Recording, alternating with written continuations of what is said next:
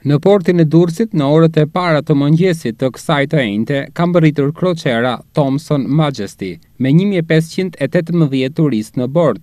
Ky është lundrimi i parë i saj drejt Durrësit, ndërsa mësohet se vetëm gjatë këtij sezoni kjo anije turistike do të vijë në portin më të madh të vendit edhe tre herë të tjera.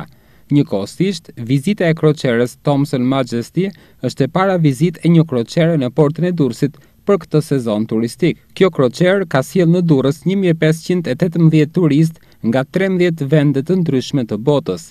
Pjesa më e madhe e tyre, afro një mijë e katërqind vetë, janë nga Britania e Madhe, ndërsa pjesa tjetër vijnë nga Irlanda, Spanja, Meksika, Australia, Italia, Kroacia, Greqia, Shtetet e Bashkuara të Amerikës, Malajzia e të tjerë. Dymbëdhjetë autobusë me turistë të huaj u nisën drejt Krujës, Tiranës dhe Beratit, si pjesë e guidës që ata të shihnin bukuritë dhe historinë e vendit tonë.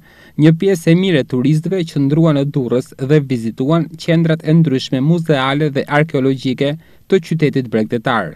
Mes tyre ishin edhe një grup me gjashtëdhjetë nxënës pesëmbëdhjetë deri në gjashtëmbëdhjetë vjeçarë nga Meksika.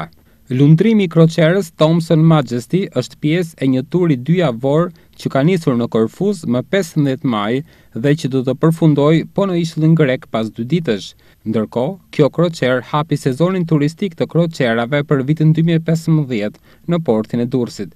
Sipas të dhënave të Autoritetit Portual, ajo do të pasohet nga dhjetë kroçera të tjera që kanë konfirmuar tashmë lundrimin e tyre drejt Durrësit.